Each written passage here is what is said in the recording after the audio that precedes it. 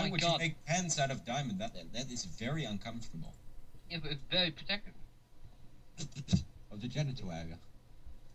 I'm sure it is. I'm sure Was it it is. diamond? Was ah, it? it a diamond chest belt?